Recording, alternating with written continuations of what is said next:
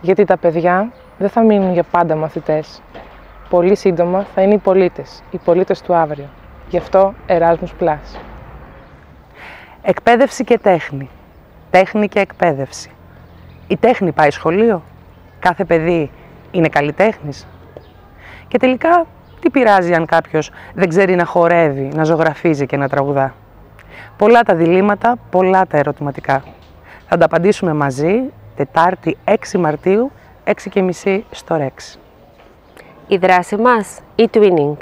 Οι μαθητές μας, trop motivés. Ο στόχος μας, tisser des liens et devenir des citoyens du monde.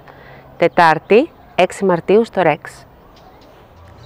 Επιλέγω να γίνω κομμάτι του κόσμου που ονειρεύομαι. Επιλέγω να είμαι θελοντής.